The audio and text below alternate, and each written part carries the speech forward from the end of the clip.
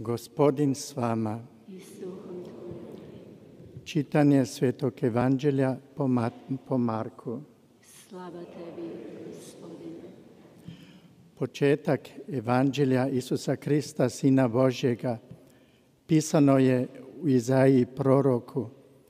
Evo šaljem glasnika svoga pred licem tvojim, da ti pripravi put.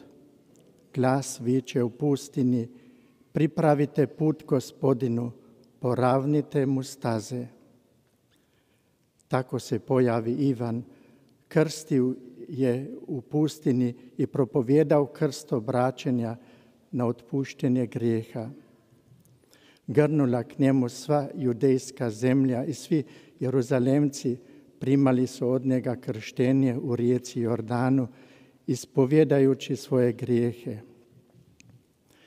Ivan bijaše odjeven u devenu dlaku s kožnatim pojasom oko bokova. Hranio se skakavcima i divljim medom. I propovjedao je, nakon mene dolazi jači od mene, ja nisam dostojan sagnuti se i odriješiti mu remene na obući. Ja vas krstim vodom, a on će vas krstiti duhom svetim.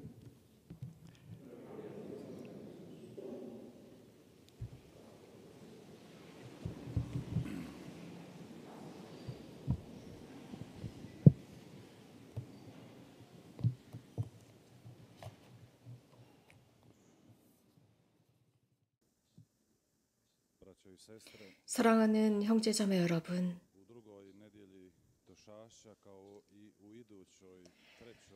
우리는 대림 2주를 지내고 있는데 대림 2주와 대림 3주에서 우리는 주일 복음에서 세례자 성 요한을 만나게 됩니다.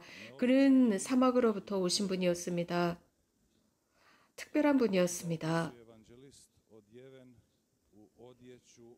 복음사가들이 전하는 것처럼 그는 낙타의 가죽을 가죽 옷을 입었고 i divlji med.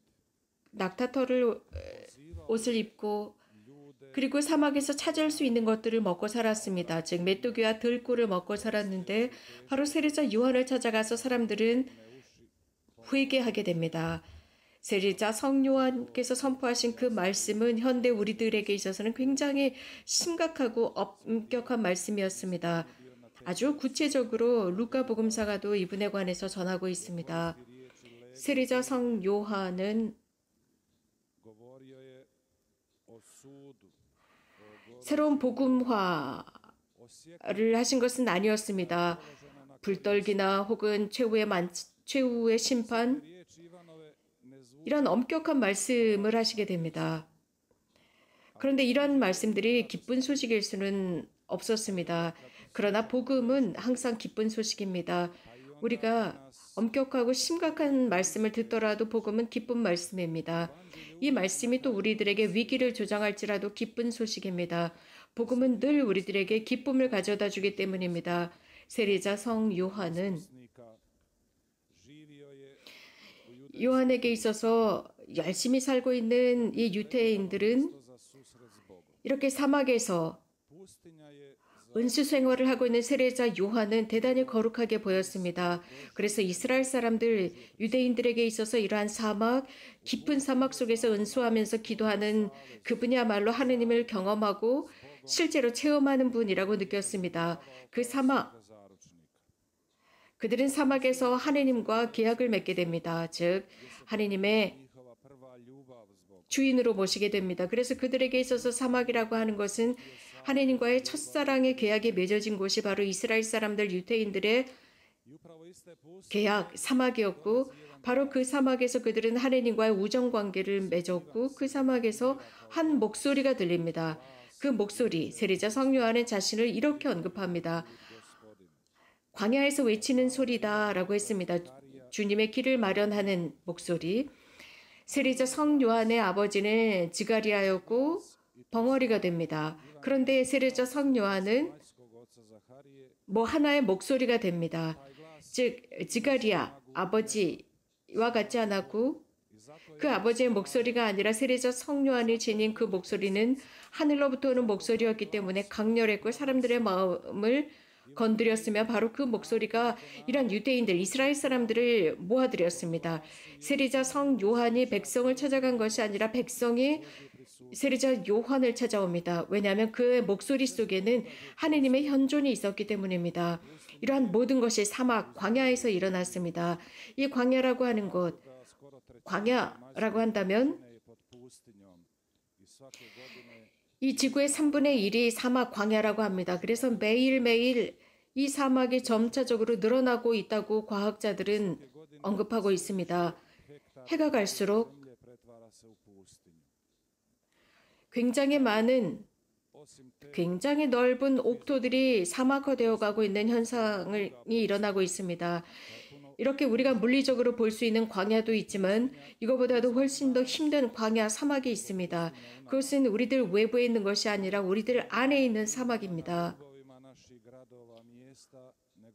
우리들의 도시 외부 외곽에 있는 것도 아니고 우리들이 살고 있는 도시 안에 있는 사막입니다. 그 사막은 인간 관계 안에서 드러나는 사막, 서로 냉랭하고 그 관계가 단절됩니다. 외로움이라는 사막, 무관심이라는 사막, 현대의 사막은 다름 아닌 세속화이고 상대주의입니다. 이 사막은 익명화되어 가고 있는 것입니다. 사막이라고 하는 것은 거기에서 여러분들이 아무리 외쳐도 아무도 듣지 않습니다. 거기에서 도와달라고 외쳐도 어떤 누구도 도와줄 수 없는 위험에 처한 곳이 현대의 사막입니다. 고통 중에 있습니다. 슬픔 중에 있습니다. 기쁨 중에 있을지라도 어떤 누구와도 이것을 나눌 수 없는 곳, 기뻐도 누구와 나눌 수 없는 곳, 슬퍼도 고통스러워도 누군가와 나눌 수 없는 것이 우리 현대의 사막입니다. 이런 일들이 매일 일어나고 있는 것은 아닐까요? 우리는 매일 이렇게 외치고 있는 것은 아닐까요? 그 사막 속에서 외치고 있습니다. 외치고 있지만 정말 더 위험한 외침은 우리들 마음 안에 있는 것입니다. 우리들 내면의 사막입니다. 우리들의 마음도 사막이 될 수 있고 광야가 될 수 있습니다. 우리들의 사막이 옥토 같던 우리들의 마음이 건조해지고 사막이 될 수 있습니다. 공허한 마음이 될 수 있습니다. 마음이 고집스러워질 수 있습니다. 혹은 아무 느낌이 없는 무감각한 마음이 될 수 있습니다. 우리가 살아가고 있는 이 문명은 기술 문명에 지배하고 있고 기술들이 계속 발전하고 있습니다. 이런 속에서 더욱 마음이 필요합니다. 따뜻한 마음이 필요합니다. 성모님께서 지난번 메시지에서 말씀하신 것처럼 생존하기 위한 따뜻한 마음입니다. 이 인류는 이러한 마음이 필요하지만 지금 이 현대에는 심장마비 직전에 있습니다. 인간, 인류, 문명이 고통당하고 있을 때 특별히 논리와 무엇인가를 분명하게 볼 수 있는 정신이 부족할 때 일어나는 결과는 우리들의 의식이 하느님의 자리를 차지하게 됩니다.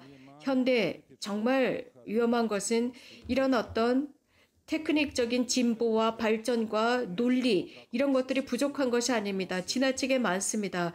지나치게 많기 때문에 우리가 어떻게 처신해야 좋을지도 모릅니다. 그런데 지금 우리에게 정말 필요한 것은 따뜻한 빛입니다. 이 현대의 우상 중에 하나는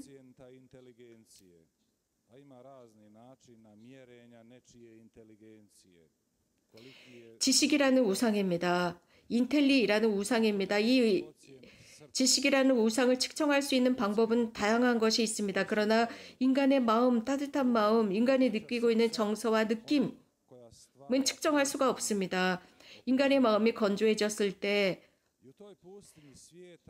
이 세상의 사막과는 비교할 수가 없는 것입니다. 성모님께서 이곳에서는 약 40여 년 동안 발현하고 계시고 이곳을 오아시로 만, 오아시스로 만드셨습니다. 성모님은 차주 메시지에서 사랑하는 얘들아 하나님께서 나에게 허락하셔서. 그분과 함께 이곳에서 평화의 오아시스를 만들 수 있었다라고 하십니다. 너희가 아는 것처럼 나는 평화의 오아시스를 만들었지만 그 평화의 오아시스 주변에 사막이 있다는 것을 너희들은 모르고 있다. 나는 평화의 오아시스를 만들고자 했다. 선함과 착함에 사랑의 오아시스를 만들고자 했다. 이 오아시스 주변에는 정말 목말라 하는 많은 사람들이 있다라고 했습니다. 예수님의 말씀을 들은 사람들, 그런 사람들은 이미 기억할 것입니다. 와서 그 물을 마시라고 했습니다. 영원히 목마르지 않을 물입니다. 안전함과 확신과 사랑과. 따뜻함의 물을 마실 수 있습니다. 용서, 의 물을 경험할 수 있습니다. 많은 사람들이 이러한 것들을 바로 이곳, 이 오아시스에서 경험했습니다. 아, 작은 오아시스로 이러한 사막에서 살아나가는데 충분합니다. 우리는 자문해 보아야 합니다. 우리는 빨리빨리 서둘러서 발전, 진보로 달려나가고 있지만 그런 와중에 사람은 혼란스러워하고 있습니다. 길을 잃었습니다. 지속적으로 활동합니다. 끊임없이 일을 합니다. 늘, 늘 바쁘다고 합니다. 그러면서도 텔레비전을 끄고 하루 일과 중에 잠깐 멈추고 머물고 인터넷도 끄고 핸드폰도 끌 줄 아는 능력을 잃었습니다. 왜냐하면 인간은 공허한 것, 아무것도 하지 않은 그 상태 를 두려워하기 때문입니다. 사회적인 관계는 많이 맺어놓았지만 너무나 형식적입니다. 사람은 이러한 공허로부터 도망치고자 합니다. 하지만 어디로 도망칠 수 있겠습니까? 이러한 공허를 무엇으로 채울 수 있겠습니까? 우리 자신을 반성해 볼 때, 우리들의 삶을 성찰해 볼 때, 얼마나 많은 것들을 우리가 하고 있는지 알 수 있을 것입니다. 혼자가 되지 않기 위해서 내 자신이 느끼는 공허로부터. 공허라는 두려움을 피하기 위해서 우리는 하루 일과 중에 너무나 많은 일을 하고 있습니다. 우리들 안에 있는 그 광야 사막을 만나려고 만나려고 만나지 않으려고 많은 것을 합니다. 하지만 그 광야는 우리에게 기회입니다. 그 침묵 속에서 그분을 만날 수 있는 곳 하느님을 목말라 하고 하느님을 목말라 했던 사람들은 광야로 나갔습니다. 지금 이 시기는 우리가 서로가 서로를 만날 수 없는 격리의 시기이기도 합니다.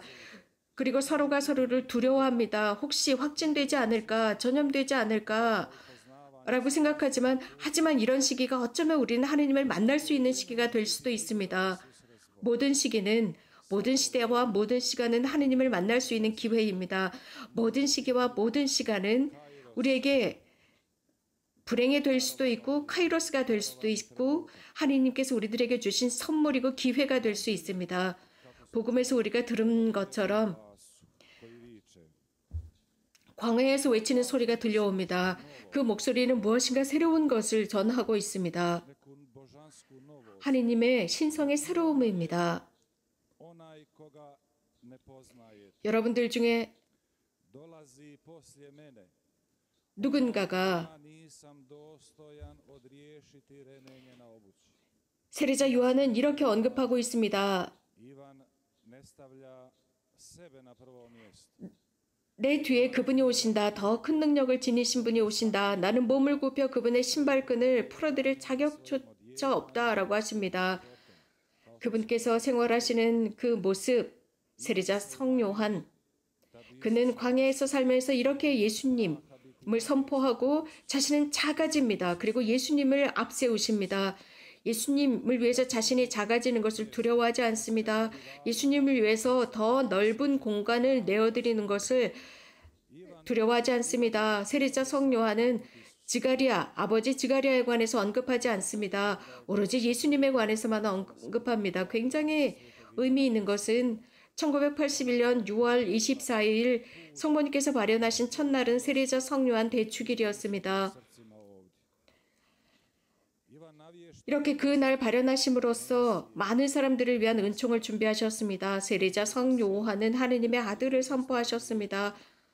그분의 말씀, 그분이 선포하신 말씀은 매우 단순, 명료했습니다. 세례자 성요한은 큰 과제를 받았습니다. 잠들어 있는 인류를 깨우는 과제였습니다. 세상의 반 이상이 잠들고 있었을 때였습니다. 우리가 아는 것처럼 메시아를 고대하던 그 시대에 그 사람들은 그 기다림에 지칠 수도 있습니다. 그러면서 무엇인가 바꾸고 싶어 하지만 불가능하, 불가능할 것이다 라는 생각을 할 수도 있습니다. 그러나 오늘 우리가 일독서에서 들은 것처럼 하느님의 백성은 거의 절망 속에 빠져들고 있었습니다. 바빌로니아로 끌려가고 있는 생활, 그래서 신앙을 거의 잃어버린 생활, 하느님의 도움이 절대적으로 필요한 순간. 그 외침이 들려옵니다. 목소리가 들려옵니다. 백성들을 위로하고 있습니다. 여러분들이 경험하셨는지 모르지만 여러분들의 영성 생활, 기도 생활 속에서 예수님께서 우리들이 기도했지만 그런 어떤 우리들에게 위로해 주시지 않고 위로를 자꾸 미루시는 것 같습니다. 그러나 우리들의 우리들을 위해서 좋은 것입니다. 우리가 아무리 기도해도 들어주시지 않는 것처럼 느껴집니다. 그래서 이제 우리는 이런 영성 생활, 기도 생활을 포기하고 싶을 정도 까지 가게 됩니다. 우리가 그런 생각을 하지만 하느님은 우리들을 버리시지 않습니다. 바로 그 순간이 우리들을 위한 시련이고 용기를 내야 하는 시간이며 그 마지막 순간에 이제 마지막 마지막 걸음을 떼어야 하는 순간입니다.